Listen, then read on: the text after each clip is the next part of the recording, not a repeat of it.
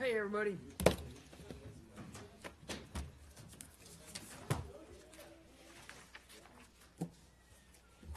I'm gonna have to make today's briefing a little bit short since I've uh, got uh, something following this.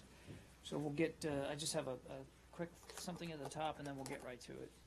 Uh, In Central African Republic, the United States condemns the violence surrounding protests on the 24th uh, of October in the Central African Republic.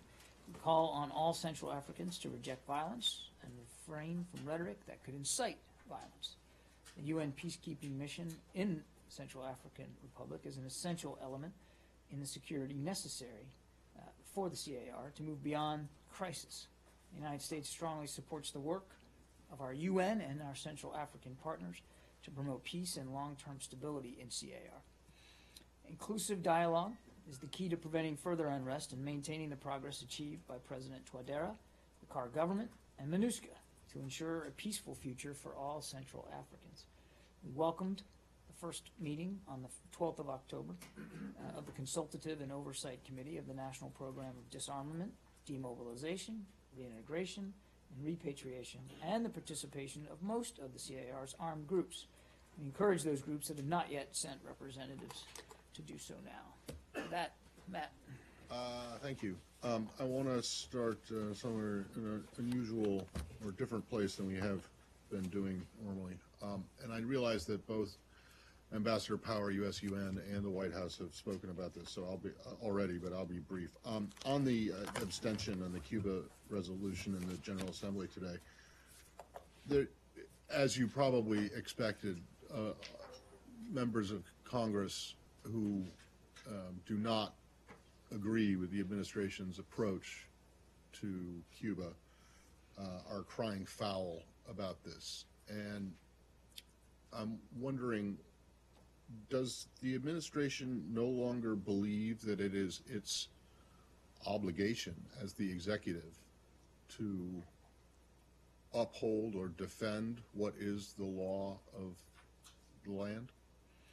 Well, I, I- think uh, we've talked about this before, Matt. We understand uh, uh, what the law is, uh, and the embargo is law.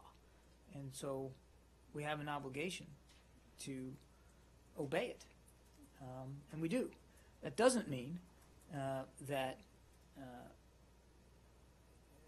that we can't or shouldn't examine policies um, that we believe are in the best interest of the United States. And the president um, has made a decision, a policy decision, that it is in the best interest of the United States uh, to establish diplomatic relations with Cuba and to seek the end uh, of the embargo. But we all recognize it's still law. Uh, that's that's not being disputed here. What uh, what we're saying is that um, that we believe the embargo uh, should be lifted, and the president will continue to work with Congress to that end. Well, I, I think everyone, everyone has heard that argument, but some people don't necessarily agree with it. They would, they, they would say that the law is the law, it's not a policy. It is the law that governs the administration's conduct, and if the administration's conduct doesn't support that, or at least defend it at, an in an international uh, fora, doesn't that suggest, this argument goes, doesn't that suggest that the administration believes itself to be more, uh, the executive believes itself to be more equal than at least one of the other two co-equal branches of government that we have in this country? I don't know if it's physically possible to be more equal. If you're Well, equal, Well, it's an, ex- equal. it's an And expression we- from Animal Farm. You- You might have Oh, I heard see. I, uh, you got me on literature there. Um, but look, uh, we we obviously are fully cognizant of the fact that the embargo is law, and and the administration doesn't hold itself above law. Uh, uh, we obey the law, and that is the law. Well, But doesn't you, mean but, that but you won't defend it in, in front of, uh, before an institute, an international institution that is condemning it? Well, I think as Ambassador Power said in, her statement today, Uh, the president made clear his opposition to the embargo and called on Congress to take action to lift it. And yet, while the administration agrees that the U.S. embargo on, on Cuba should be lifted, we do not support the shift for the reason uh, stated in the resolution itself. And as, again, I'm quoting the ambassador, but I think it's important, as she said very clearly, all actions of the United States with regard to Cuba have been and are fully in conformity uh, with the UN Charter and international law, including applicable trade law and the customary law of the sea. Um, so any idea or suggestion that um, that we're somehow trying to flout law here is just inaccurate. But that doesn't mean that that doesn't mean that the uh, the president's policy, while it while it, opposes the embargo, is wrong. It's the president's uh, prerogative as commander in chief uh, to set foreign policy for the United States. And his foreign policy is that we're going to establish diplomatic relations, we're going to open up our relationship with Cuba, and seek the end of the embargo, and seek the end of the embargo. In other words, work with Congress to that end. Right, Um, until you get to that end. We're gonna isn't- obey the law. Isn't it incumbent upon you that not only obey it, but to defend it against condemnation or criticism? There were other things in the resolution that we took issue with that led to the abstention. Uh, But uh, again, um, All right. uh, we're going to obey the law, we're going to follow the law. It doesn't mean that we have to agree with it and the basis for it. I mean, you know, we had a- a di- discussion the other day, I think, about, uh, JASTA. about JASTA. It is the law of the land. We will Yeah. obey the law of the land. But Except that we you're gonna objected try to and it. fix it. We objected to it before it was passed. Um, And as I think I made clear, that the secretary is going to stay engaged on this u- issue uh, uh, to uh, continue to try to seek a better outcome. But it Okay, is the I- law. yeah, Right, I mean, JASTA is not a very good example, because, the- the- yes, you did object to it beforehand, but you didn't object to the, this administration couldn't have objected to the embargo before it was, because, well, the president was just born then, maybe, when it passed? Yeah. So there, what, the, the, the, My, my There's- point there's is. a big I- difference I- here. I So- didn't mean it was a perfect example, No, but no, the no, point I- I'm trying to it, make but- is, you can still follow the law uh, and obey the law, at the same time, uh, having a discussion with Congress about your concerns right, about it. except that, that some of these people, some of the members of Congress who have come out and expressed concern on both sides of the aisle, not just, uh, not just Republican, frequent Republican critics of the administration, but Dem- Democrats as well, say that if you don't, this is, this, the embargo has been passed and, and maintained in place by both Democratic and Republican administrations since, you know, since nineteen, the sixties. In keeping with the foreign policy agenda of the United States up to, Right, up but to now. until it is no longer the law of the land, you're saying that the executive branch doesn't believe that it, it, it has an obligation to, to- to defend it? it, we, have, we have an obligation to uh, obey it and to follow it, and that's what we're doing. Do you have any uh, clarity um, uh, on what may have happened with the killing of these 26 Afghan men? Um, Yeah, I realize you may not because it's Afghanistan and there aren't U.S., you know, Yeah. uh, persons involved. But um, the, I guess the key question is whether you think this incident might be, uh, uh, uh, whether the killings may have been carried out by Islamic State militants, or if that seems implausible to you given the location. There's a lot there, Arshad. It's difficult to know with certainty, and I don't think that, uh, again, uh, my, my Pentagon colleagues might have more information on this, but I don't think they do, that we really know exactly what happened here. Um, so I can't stand here before you and rule out uh, that uh, Daesh or ISIL uh, uh, had a hand in this or were responsible. Um, we'll have to try to learn more as, as time goes on, since this is a relatively fresh report. That said, um, it, it is it is no secret that we have been long concerned about uh, ISIL's eyes on Afghanistan and and their desires to have a presence there. In fact, for now almost a year and a half, if not two years, President Ghani has spoken about this, and so has our uh, our commanders in, in Afghanistan. So this is something their, their desires to metastasize into Afghanistan is something we've been long watching. Um, I certainly could not rule out uh, their hand in this. Uh, we just don't know enough right now. Can we stay on Daesh? Sure. the Battle of Mosul. Sure. Okay. Is it turning out to be like a slog, or are things moving? How are they prog- So, progressing? w- Elise, you want to come take the podium? Uh, Not today. Not today, all right. Uh, look, I mean, you know, we're, we're how many days into this, Saeed? And now we're, we're already We're- talking about slog? What's the ne- next thing we're gonna be asking about quagmire? I mean, Okay. th- th- th- this is, ju- this just started. And, and we said all along that this was gonna be, first of all, uh, a long road to get to the operation. Okay. Because it had to be done when the Iraqis were ready. Uh, and now they are. Uh, and we said even before, even when we were doing shaping operations, that that taking back Mosul was going to be a tough fight and was going to take a while, uh, and it was going to be ugly because of the terrain and because of the uh, the nature of the city itself and their presence in Mosul. Uh, and so, look, we're only a few days into this, and actually, they are making good progress. Uh, they're mainly still on the outskirts of uh, of Mosul, uh, but they have achieved a measure of success.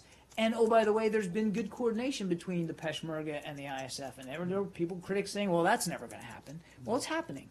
So we got to give them time and space to continue to execute their plan. But military operations uh, are, are never, uh, uh, you know, clear-cut things. There's, there's, there, you're going to meet resistance. The enemy gets a vote.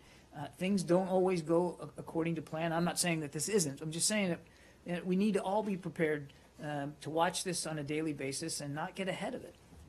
Well, you know, because of all these, uh, all the different groups and all the moving parts and this thing, is the United States, is it maybe, has it made a mistake by not taking command and control of this operation? And perhaps, you know, because it has a better, you know, experience in, in whether in the fight in Mosul in the old days, you know, No, absolutely not. 2004, No, this, and this, so this, no, no, I couldn't, couldn't disagree more. Mm-hmm. I mean, we, we've also long said, for going on two years now, that in order to achieve a truly sustainable defeat of this group, it has to be done with indigenous forces. One of the lessons we learned over the last 15, 16 years is, yes, the American military can do a lot of things and do it very, very well. Uh, but the way to sustain a defeat against extremists on soil is to make sure that indigenous forces and security and a security apparatus is in place and capable of not only defeating but then stabilizing afterward. Uh, that sometimes the presence of foreign troops alone uh, can be can be an, uh, the irritant required to keep extremists interested in an area. That we can actually make the situation worse. The second thing I say, I see. Uh, at least give me a second. The second thing I'd say is uh, that we tend to forget Iraq is a sovereign country. You know we talked about Iraq for much of the last decade as if it was some, you know, if it was a, it was a territory. It's a sovereign country, and Prime Minister Abadi uh, must maintain command and control uh, over the forces inside his country, and and he does. And we've long said that that uh, uh, that, that if you're going to be involved in the fight against ISIL, we want all those things coordinated and under Prime Minister Abadi's uh, command and control. That's the way to achieve a lasting defeat against this group, which is why our role has been one, not just because we wanted it, but because Prime Minister Abadi wanted it, one of training, advising, assisting, helping improve their battlefield competency, confidence, and capability so that they could mount this operate well all these operations but this one in particular successfully and then maintain the defeat of isil over time and stabilize mosul uh, going forward. That can't be done uh, by foreign forces. It, it needs to be done by iraqi forces. Um, Can you can you talk a little bit about Raqqa? Um, Secretary Carter said today that he thought that the um, advance on Raqqa would uh, be taking place in a few weeks, and it se- he seemed to suggest that perhaps the, that the coalition was moving up um, the advance on Raqqa um, with the Kurds Yeah. because of perha- potentially some um, some external threats.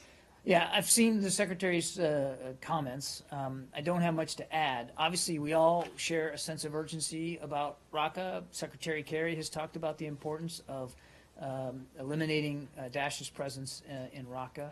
Uh, I won't get ahead of military operations and, and, and timing. Really, that's much uh, better for um, for our Defense Department colleagues to speak to. Nor will I go into great detail about intelligence assessments, but. I- think it is a fact and well known that uh, that uh, Daesh continues to plot against uh, Western targets. They continue to try to inspire foreign fighters to take up uh, their twisted aims uh, in countries outside the region, uh, including Western countries. Uh, and so we're always monitoring that threat. It's a very real threat, and we take it seriously. And Raqqa is. Um, for all intents and purposes, you know, uh, uh, their their capital in Syria. So it does have significant importance to them, and therefore it must by definition, have significant importance to those of us who are fighting them. He also said that, if I may, uh, At least, did you have follow up. Follow-up? Just let me, No, on the okay. same issue, he also said that, uh, that the United States is working to create local, local groups to fight ISIS and, and Raqqa. Could you In- elaborate a little bit on that? What is, what does It's that in mean? keeping with exactly my answer to you before about indigenous forces. Um, look, in Iraq, um, it, it's, it's, it's, it's much easier to define what indigenous forces are uh, because you have a uniformed army, and we do have some uh, militia forces that are arrayed uh, uh, along with Iraqi security forces, and of course you have Peshmerga forces. Um, so it's easy to sort of identify and articulate and define in, what indigenous forces are in Iraq. It's harder to do that uh, in Syria, obviously, um, but we we are working uh, and have been working with a number of uh, groups on the ground uh, in Syria. And uh, again, I'd point to my Defense Department colleagues to, you know, further identify who they'd be working with with, respect to uh, Raqqa. But there are many Syrian uh, forces um, uh, that we have been supporting against Daesh inside Syria, and I suspect that they would that they would play a role. So the United States will not, let's say, cooperate with the Syrians or the Russians for the Battle of Raqqa? The, I mean, if, if, if they offer that kind of assistance. I, I, I'm not going to hypothesize. I mean, there's no, I, but but let me be clear that there there's no intent or, or, or effort uh, to coordinate with the Assad regime, and we've said this before on any counter Daesh operation inside Syria. There will be no coordination with the Assad regime.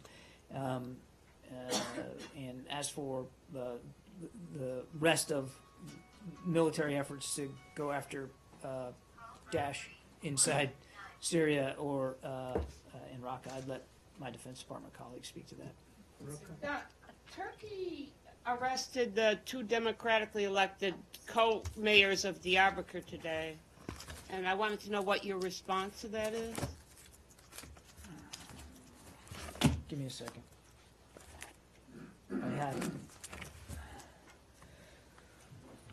So we're closely monitoring the situation uh, following the detention of uh, Diyar Diyarbakir's elected co-mayors on charges of supporting terrorism.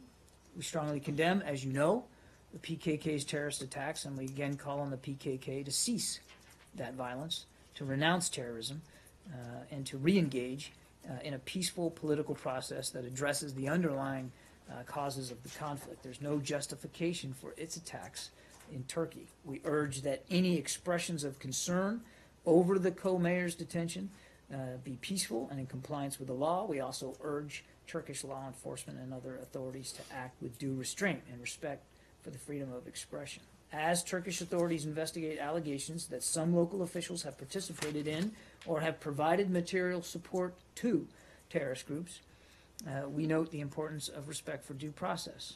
This again is nothing new. We've said this time and time again. Respect for due process is enshrined in the Turkish, is as enshrined in the Turkish constitution, and will ensure uh, that the results of these investigations will reinforce confidence in the judicial system among Turkish citizens.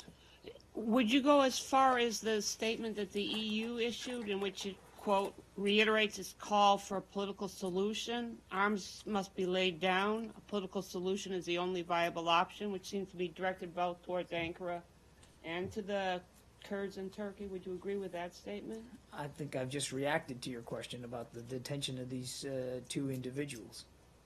Can I can I interpret it as, as meaning that you're basically saying the same thing as the EU, reiterating your call for a political solution, or there's some distance between you and the EU? You were asking me about the detention of these co-mayors, not about a larger strategic goal. But obviously, look, I mean, uh, uh, uh, we've said with with respect to the PKK that we've long said we want them to renounce violence and terrorism and return to the negotiating table.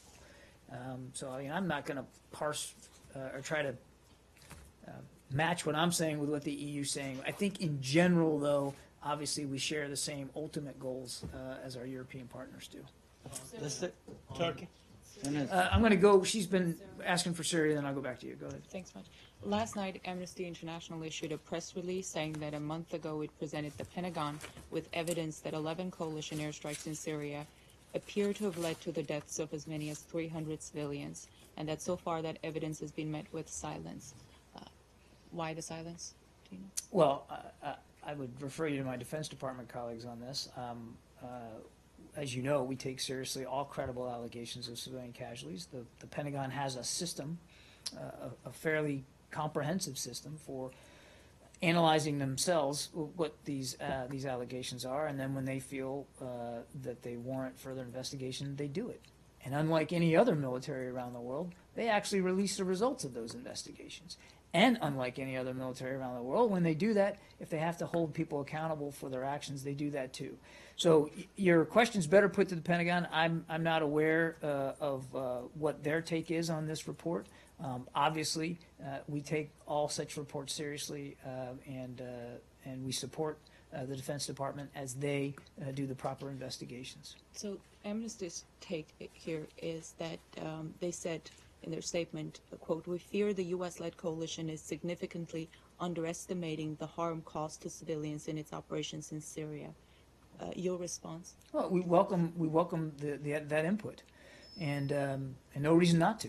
Uh, believe me, no military uh, tries harder than the United States military to limit to prevent um, uh, casualties to, to civilians or damage to civilian infrastructure. We take it very very seriously, um, and uh, again, uh, not we're not at all afraid to receive criticism uh, about our efforts, and when we believe warranted, to fully investigate. Um, and then I said, I said, announce the results of that investigation. So look, uh, as I understand it, this report just came in. Um, I'm, I'm gathering that we're probably still going through this, uh, but I can assure you that the uh, that the Pentagon takes all allegations of civilian casualties very, very seriously. Just one more. So, in the case of the 11 strikes that Amnesty examined, the group reported that to date, CENTCOM has acknowledged only one civilian casualty resulting from those operations.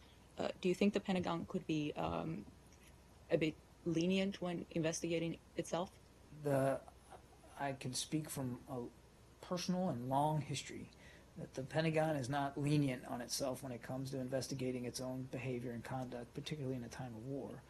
Uh, in fact, nobody's tougher on themselves uh, than military leaders. And again, I would stress to you, no other military, no other military uh, takes this matter more seriously than the United States. Yeah. On Syria, any update on the thoughts in Geneva? No, I don't have any updates for it today. Uh, They continue.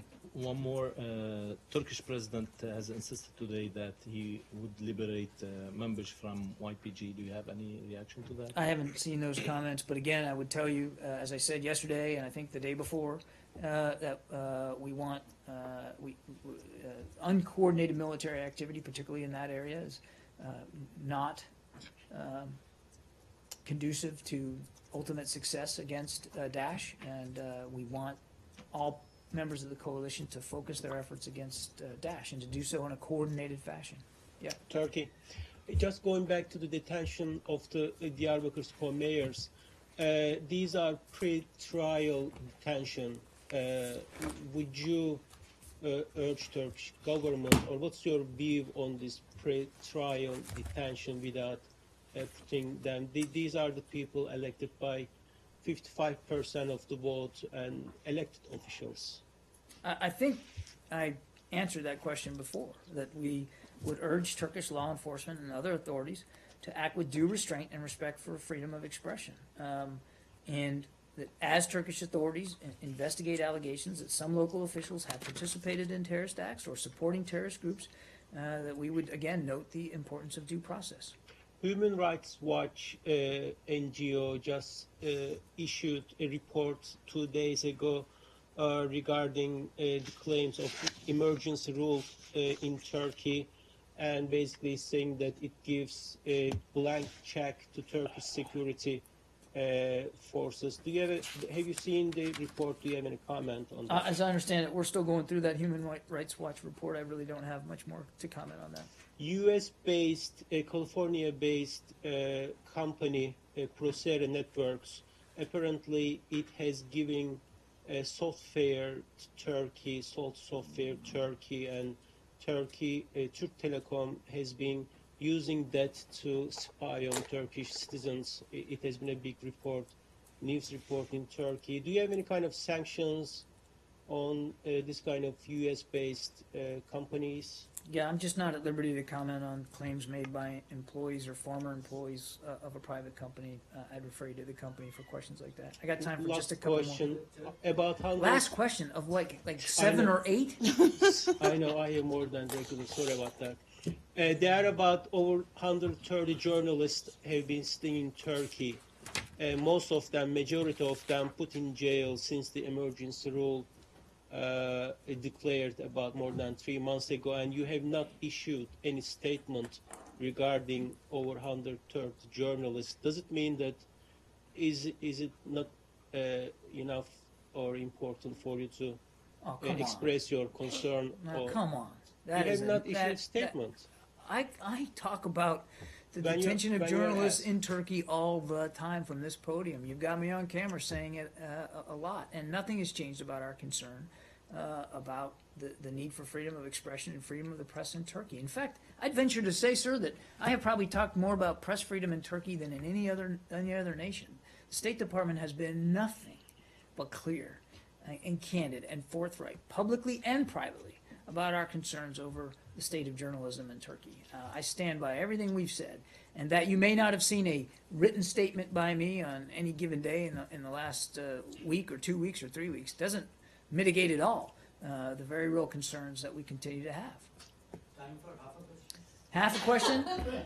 Can you, re- what, what, half a question means I don't have to give you half an answer, right? Please, please, Matt would probably tell you that's all I'm doing please. anyway. Um, what, what, Generous. what, what is Go the, ahead, and then what- James, I'll finish up. What with is you. the Uh, yeah, I got, I got it. Oh, of course you got to it, I have yes, very- yeah. They're very extremely brief. what, what is the latest on uh, position of Turkey's involvement in this uh, ongoing war? Because Iraq is saying no.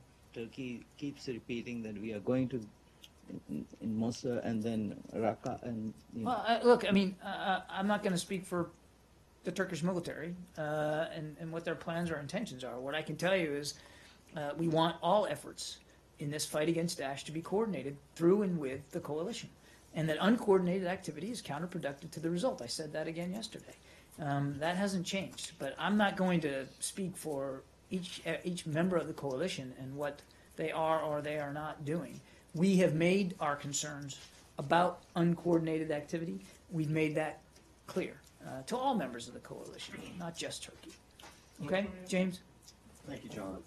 Um, in 2012, Secretary Clinton's final year as Secretary of State, federal lobbying records show that a leading defense contractor hired a trio of lobbyists to lobby the Department of State for a larger share of foreign military sales contracts by which, as you know, advanced weapons systems are shared with other countries. Uh, the federal lobbying records show that all three of those lobbyists were uh, large donors or bundlers for Hillary Clinton in both her 2008 and 2016 campaigns. Among those lobbyists was Heather Podesta, whose brother-in-law that year was John Podesta, who that year was serving as a counselor uh, at the Department of State for approximately $130,000 a year and also a member uh, of a policy advisory board that Secretary Clinton created. Um, as it happened, the gambit appeared to have worked because that defense contractor's share of foreign military sales contracts surged in 2012, uh, with uh, three contracts alone for provision of advanced systems to Qatar, totaling for that firm some $19 billion in contracts. Uh, even if no laws were broken, uh, it would seem a fairly cozy situation, would it not? Well, uh, thanks, James. Um, what I would tell you is that uh, there's a standard procedure here uh, for how contracts are uh, considered, vetted, and decided on. Um, and if you'll allow me, I'll just walk through a little bit of that. Please. Each request is assessed on its own merits, uh, on a case-by-case basis, in accordance with the Arms Export Control Act uh, and the Conventional Arms Transfer Policy, and based upon ongoing defense cooperation uh, engagements by both the Department of Defense and the Department of State with foreign counterparts. Each request from a partner nation must be reviewed and approved by several bureaus uh, within the Department of State and the Department of Defense, uh, which all must generally come to a consensus before recommending approval. Uh, So then, as required under the Arms Control Export Act, proposed major sales or transfers must be briefed and formally notified to Congress. Um, So uh, these decisions uh, are based on a pretty comprehensive interagency process that's pretty rigid too. Uh, It's not just something that any one official here at the State Department can say, yeah, let's go ahead and do it. And the other thing is, they're based solely and completely on the foreign policy objectives of the United States of America, and nothing else factors into that. Statutorily, one official here at the Department of State is entrusted with final approval over these transfers. Am I correct about that? Well, I'll- I'll- obviously, the ultimate responsibility, of course, rests on the cabinet official. In this case, it'd be the Secretary of State. At DOD, it would be the Secretary of Defense. But they both have to be in concurrence here. Uh, My understanding is state approves these transfers or contracts, defense implements them. Am I wrong about that? You're not wrong, but you're not completely right either. The, uh, obviously, the, the Foreign Military Sales Program is a State Department program, but we do it in close coordination with DoD. Having been in that world, I can assure you that DoD gets uh, certainly gets a vote. Um, and if there are disagreements between the Secretary of Defense and the Secretary of State, those are ironed out at that level. So we don't move forward with foreign mil- military sales contracts unless everybody's on board with it, that there's a true interagency development. But yes, who fi- who uh, quote unquote signs off on the, the final uh, sale, obviously it's the Secretary of State, that's the way it's enshrined in law. But that doesn't mean that there, uh, that there's no coordination or no requirement to make sure we've got a consensus view going forward. Uh, So I think we need to be careful when we say there's one person who makes this decision. Uh, While there's one person who has, you know, final sign-off, that one person can't do it without a whole body of evidence and analysis and review and interagency uh, uh, consensus before they get to that point. What we have here is a situation in which a trio of lobbyists who have raised hundreds of thousands of dollars for Hillary Clinton's campaigns and earned hundreds of thousands of dollars lobbying her State Department on behalf of this defense contractor succeeded in securing contracts for that contractor uh, that were far and above uh, what they had received in previous years. And indeed, that contractor, after Secretary Clinton left office, essentially discontinued its re- lobbying relationships with those lobbyists. So the appearance, John, is of the appearance is akin to one of those pop-up stores that materializes just to sell Halloween candy or July 4th fireworks for a seasonal need, and after that seasonal need has been met, vanishes. Well, I'll let you speak to the appearances, James. I mean, that's uh, more your job than mine. I, I can only speak to process, and I certainly can't speak to the decision-making, you know, years ago uh, in terms of each and every contract. Um, I wouldn't do that. What I can assure you, though, is that uh, that we remain confident in the system and the process that's in place, uh, and the, the, the very judicious manner in which contracts uh, or foreign military sales that are dependent upon certain contracts are executed. There is a very lengthy, um, rigorous, sometimes painfully slow. In fact, many of our partners complain about that. It wasn't in this case. Well, again, sometimes painfully slow, uh, that is uh, done across the board. Um, and uh, th- there are no, the, the only considerations, the only considerations that are factored into the foreign military sales program is the furtherance of foreign policy uh, objectives of the United States of America and not uh, the efforts by external groups uh, to lobby, as you say, or to influence that decision. Uh, the decisions are made, again, across the interagency and only in furtherance of our foreign policy uh, objectives. One last question. You've been very kind. Throughout your answers to mine and others' questions today, you have frequently uh, relied on your personal knowledge of how things work at this agency and the Pentagon as well. So I'm going to ask you, uh, in that vein, to tell me should we imagine that at a time when John Podesta was a salaried counselor here, this very man who wound up as Hillary Clinton's campaign chairman and who is much in the news these days, uh, should we imagine at the very time that John Podesta was a salaried counselor here, Secretary Clinton would have been unaware that her department was being lobbied by Mr. Podesta's sister-in-law? I cannot answer that question. I do not know. I would refer you to. But you the know how former things work. secretary. You're all too frequently telling us you know how things work. But I don't know what I don't know what former Secretary Clinton was aware of in terms of uh, uh, of uh, Mr. Podesta's relatives and, and the jobs that they were doing at the time. I couldn't I couldn't possibly speak to that. What I can assure you though is, and you know, James, you've been around long enough. You know what the Foreign Affairs Policy Board does. And yes, Mr. Podesta was a member of the board at the time. I can assure you that. Uh, that his role in the Foreign Affairs Policy Board played absolutely no role uh, in this or any other foreign military sales program. That's not the that's not the objective of the board. That's not their that's not their purview, uh, and that uh, that he would, as a member of the board, have no role in that, no none whatsoever.